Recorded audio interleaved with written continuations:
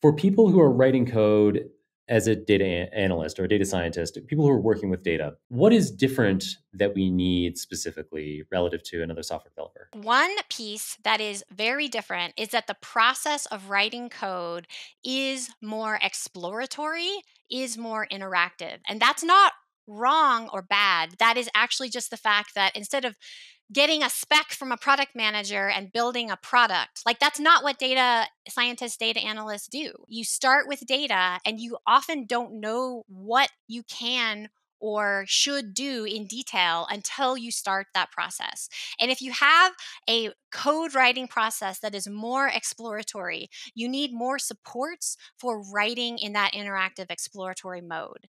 Um, some things that support that are things like a truly, truly fully featured interactive console.